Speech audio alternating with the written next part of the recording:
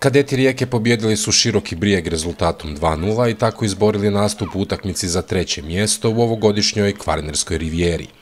Prvi dio nije ponudio previše prilika. Bitka se vodila na sredini terena u spokoju polu priliku, no objema ekipama nedostajalo je lucidnosti u zadnjoj trećini, iako je dojam da je Rijeka bila bliže pogodku.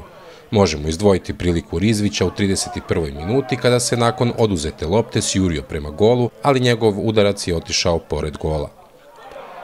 Rijeka je u nastavak krenula još bolje i kako je odmicalo polovrijeme sve više je vršila pritisak na obranu širokog.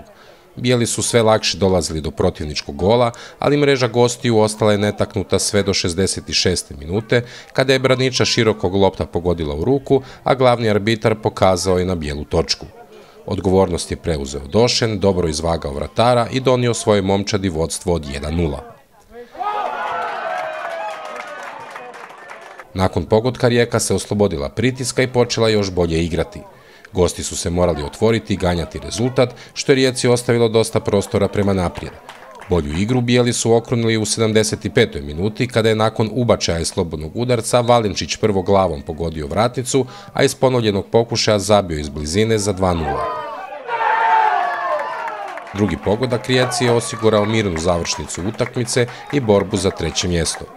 Trener čestitke na pobjedi, Rijeka Široki brijeg 2-0, prva pobjeda na Kvarninskoj rivijeri. Čini se da je trebao taj jedan gol da se jednostavno sve otvori. Dečki su nekako djelovali puno bolje, opuštenije i brže nakon što su uspjeli postići prvi gol. Je, slažem se. Čestitke našim momcima, zbilja su odigrali jednu, jednu odličnu utakmicu sa puno energije, puno, puno htjenja i puno želje.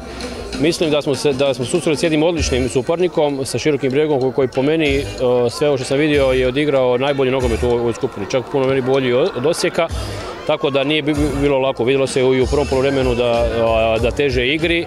Mi smo bili malo u tom grču, ali kad smo drugo polovremena napravili neke izmjene, onda je to sve, onda je, je to sve krenulo i treba nam taj jedan gol malo da, da se to, to, to otkoči i da možemo malo mirnije kombinirati našu igru, tako da čestitke još jednom našim momcima. Čeka se utakmica za treće mjesto, još jedan izazov za ovu ekipu.